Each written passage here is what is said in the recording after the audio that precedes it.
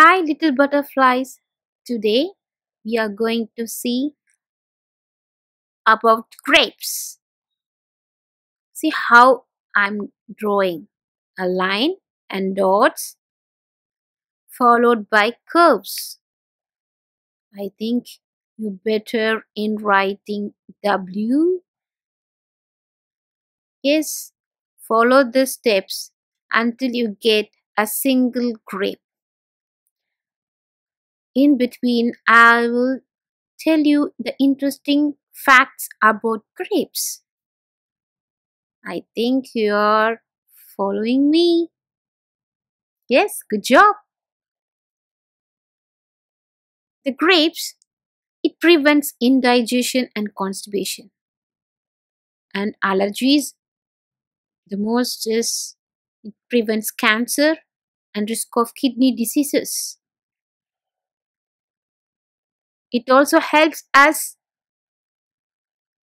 what?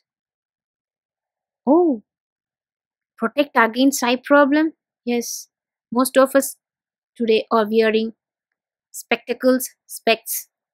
So by eating grapes, we can avoid the eye problem. Good idea. And people, we can stay hydrated and it can cure asthma too. And mainly for you kids and parents, everybody, it improves the brain function. Interesting, right? Yes, you're getting it. Is few more leaves to go. Now we see about the grapes, how it controls or reduces. Controls the blood pressure, diabetes, and the risk of stroke. Yes, most of our parents and